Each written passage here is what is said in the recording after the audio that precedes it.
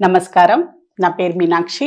I'm a tarot card reader numerologist rudraksha gemstone and crystal consultant మీ లైఫ్లో ఎలాంటి ఇబ్బందులు ఉన్నా ఎలాంటి ప్రాబ్లమ్స్ ఉన్నా కూడా టారో కార్డ్ ప్రిడిక్షన్ ద్వారా చక్కని పరిష్కారం బెస్ట్ రెమెడీ మంచి సలహా లభిస్తుంది. అలాగే న్యూమరాలజీ విధానంతో కూడా మీరు జాతకం చెప్పించుకోవాలి అనుకున్న నేమ్ కరెక్షన్ చేయించుకోవాలి అనుకున్న రుద్రాక్ష జెమ్స్టోన్ క్రిస్టల్స్కి సంబంధించిన ఎలాంటి సందేహాలు ఉన్నా అపాయింట్మెంట్ కొరకు స్క్రీన్ పైన కనిపించే కాంటాక్ట్ నెంబర్కి సంప్రదించవచ్చు.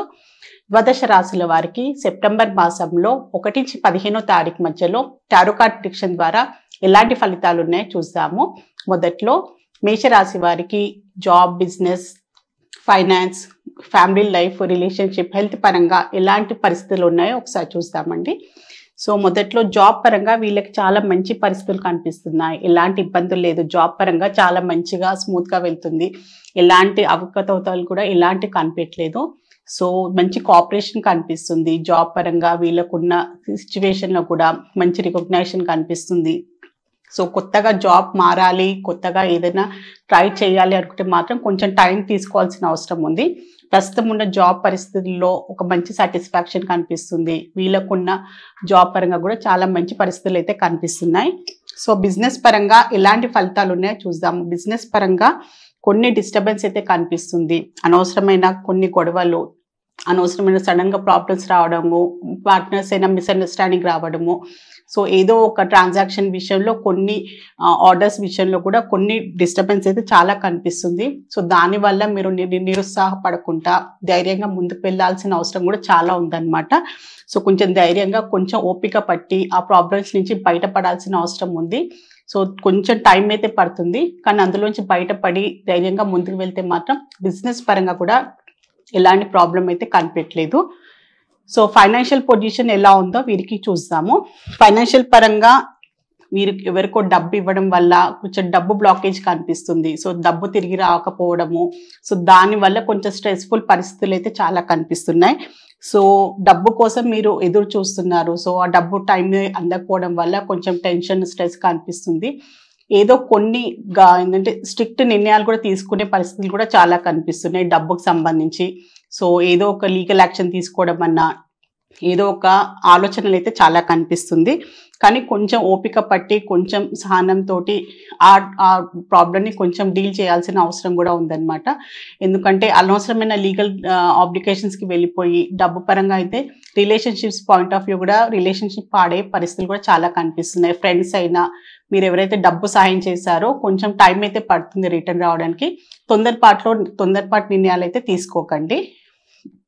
సో ఫ్యామిలీ పరంగా ఎలాంటి పరిస్థితులు ఉన్నాయి వీరికి చూస్తాము. ఫ్యామిలీ పరంగా కూడా కొన్ని అను అనుకోని ప్రాబ్లమ్స్ సడన్ ప్రాబ్లమ్స్ కూడా చాలా కనిపిస్తున్నాయి. సడన్గా ఉంటూ ఉంటూ సడన్గా ఏదో ఫ్యామిలీ మెంబర్స్లో ఏదో ఒక ఇబ్బంది రావడము సడన్గా హెల్త్ ఇష్యూ అనుకోండి సో ఏదో ఒక డిస్టర్బెన్స్ అయితే చాలా కనిపిస్తుంది. సో అందులోంచి బయటపడడానికి కూడా చాలా ప్రయత్నిస్తున్నారు. కొన్ని రోజు నుంచి ఒక వారం పది రోజుల నుంచి అయితే చాలా డీలింగ్ అనవసరమైన ప్రాబ్లమ్స్ నుంచి అయితే పరిస్థితులు అయితే కనిపిస్తున్నాయి. సో ప్రాబ్లం నుంచి బయటపడడానికి కొంచెం కొత్తగా ఆలోచించడము ఏదైనా కొంచెం సలహా తీసుకోవాల్సిన అవసరం కూడా చాలా కనిపిస్తుంది. సో ఫ్యామిలీ పరంగా కూడా కొన్ని అనుకో అనవసరమైన సడన్ ప్రాబ్లమ్స్ రావడం వల్ల కూడా వీరు కొంచెం ఇబ్బంది పరిస్థితులు అయితే కనిపిస్తున్నాయి. అందులోంచి బయటపడడానికి మార్గం అయితే వెతుకుతున్నారు. సో ఫ్యామిలీ పరంగా. సో రిలేషన్షిప్ పాయింట్ ఆఫ్ వ్యూగా వీళ్ళకి ఎలాంటి పరిస్థితులు ఉన్నాయో ఒకసారి చూద్దాము.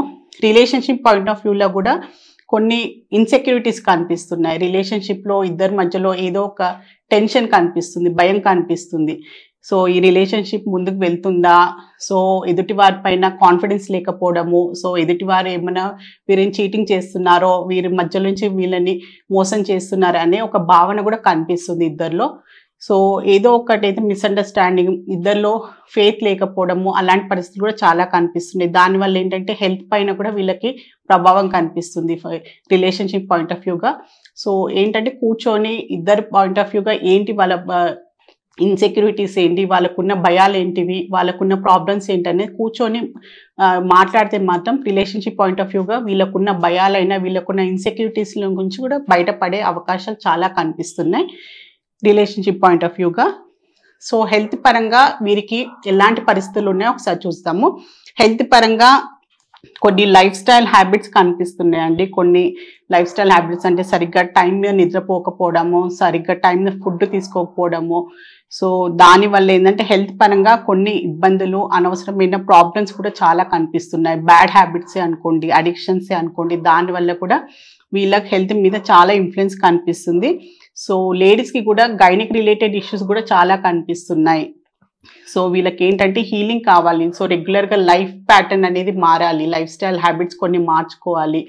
టైం మెయింటెనెన్స్ కావాలి.